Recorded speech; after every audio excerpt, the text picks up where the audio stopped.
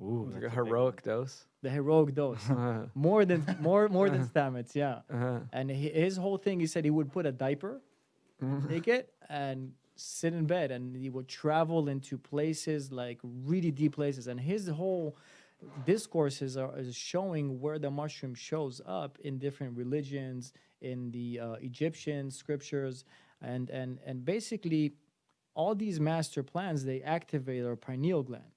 So the pineal gland, the gland that you know, in essence, we can release our own uh, DMT molecule, which connects us to the spiritual realm, to that 99% of the God molecule or the God uh, space.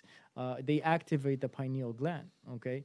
Now, funny enough, the Pope, you know what he has on his cane?